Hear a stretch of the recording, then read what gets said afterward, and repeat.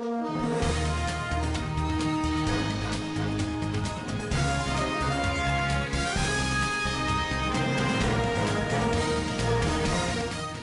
administrative agreement outlining the terms of the partnership between the government and the EU Elections Observation Mission for the synchronized elections scheduled for August 23 was signed yesterday by Zimbabwe and the European Union.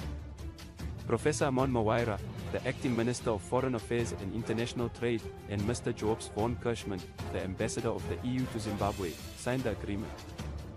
Also included in the pact are Canada, Switzerland, and Norway. In his remarks, Professor Murwira said that Zimbabwe has a tradition of inviting foreign governments and organizations to monitor its elections ever since the introduction of universal suffrage at independence in 1980. In keeping with this tradition and the government's engagement and re-engagement policy, the government of Zimbabwe is once more inviting foreign observers to watch the people of Zimbabwe exercise their sovereign right to freely elect a president. Members of the lower and upper houses of parliament, and local government representatives of their choice during these upcoming harmonized general elections. The EU is one of the organizations from around the world that has been invited to watch the upcoming harmonized elections. He stated. According to Professor Murwira, the administrative agreement also specified what each party should have done during the elections. In this regard, I am happy to let you know that the administrative agreement's goal is to organize the communication between the government of the Republic of Zimbabwe and the EU Elections Observer Mission. In carrying out its duty, the EU Election Observer Mission and its members shall uphold the strictest levels of independence, objectivity, and impartiality. All EU Election Observation Mission observers are required to adhere to the first schedule of the Zimbabwe Electoral Act's Code of Conduct. In addition, he added, the EU Election Observer Mission observers will abide by additional codes of conduct, including the Code of Conduct for European Observers, Declaration of Principles of International Election Observation, and Code of Conduct for International Election Observers.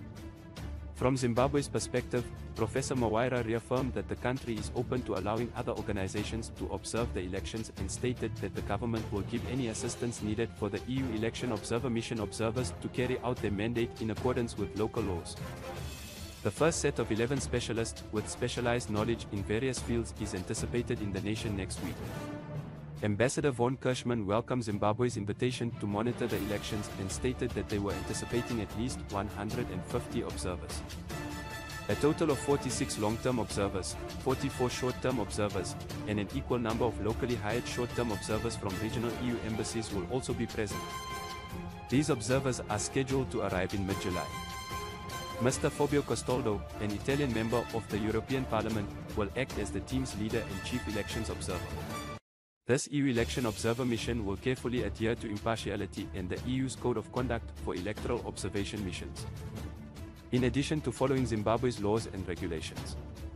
I believe this is a requirement of the agreement we made, which states that this mission would be impartial and adhere to all laws and regulations and that the government of Zimbabwe will support it by granting it access and providing assistance and protection.